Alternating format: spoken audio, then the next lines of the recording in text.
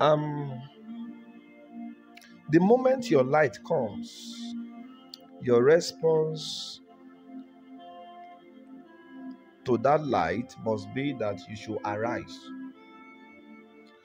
Now, the, the reason for which you will arise is that is because there's a need for you to move in the direction of that light. So when your light comes, arise. And after arising, follow the path of the light.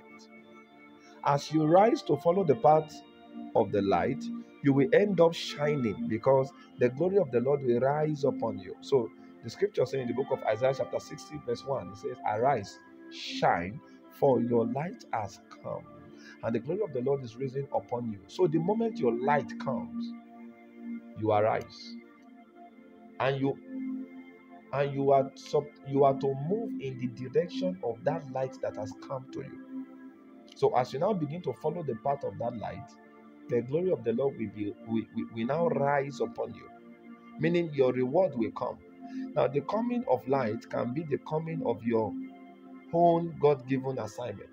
So, when I say when your light comes, I'm referring to when your assignment comes. Every light, every coming of light must must provoke your your rising. You must arise. When if your light comes and you don't arise, it means that you have ignored that call.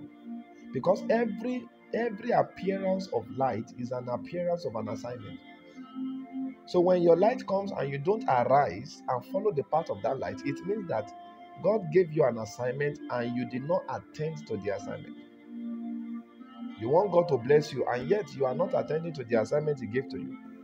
Don't you know that it is as you attend to the assignment God has given to you that the blessings you desire will come? It is in your attending and your commitment to the God given assignment that the blessings you desire will now come. So, as your light comes, you arise. As you arise, you follow the path of the light that has come to you. And as you begin to follow that path without deviation, the glory of the Lord will rise upon you, meaning your reward will come speedily.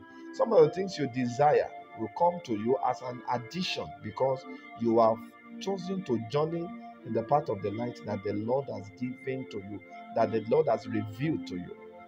So when light is revealed, an assignment is given. In every light, there is an assignment to fulfill, there's an assignment to do. So when you see the light, you also need to see the assignment because if you only see the light and you are not seeing the assignment, it means you have not seen well. So if you actually see well, then you will see the assignment. So you will not only see light, but in that light, you will see the assignment that is hidden in it. And that assignment will now provoke you and will move you to rise. As you rise, you follow. As you follow, you now begin to gain fulfillment. So a man that will be fulfilled must first arise. And not just just not just only arising, must also follow the path of that light that has come, the path of the light that has been revealed. I pray the Lord will help us in the name of Jesus.